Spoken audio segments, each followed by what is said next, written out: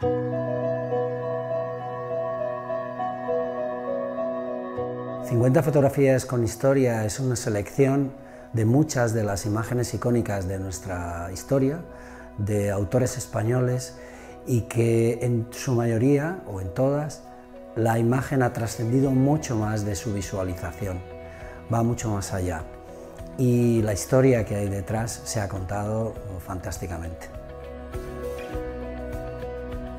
He crecido y me he hecho como ser humano a través de la fotografía también. Es un medio único para aprender las historias, porque la fotografía actúa sobre nuestra memoria de una manera brutal.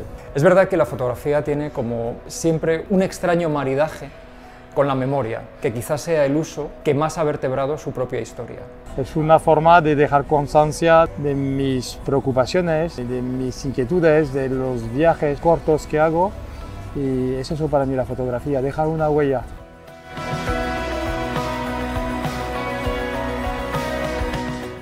Al lector le proponemos un recorrido participativo con el mundo de la fotografía. Es un libro donde realmente estamos los fotógrafos. Tiene precisamente lo que vamos buscando, ¿no? que cuenta las historias. Por un lado cuentas la historia de, de una imagen, pero estás contando muchas más cosas. Esa historia representa muchas otras. Hay una parte grande de tratados y de, y de historias inéditas y también muchas se cuentan bien por primera vez. Con lo cual yo creo que la sorpresa es algo grande en esta edición.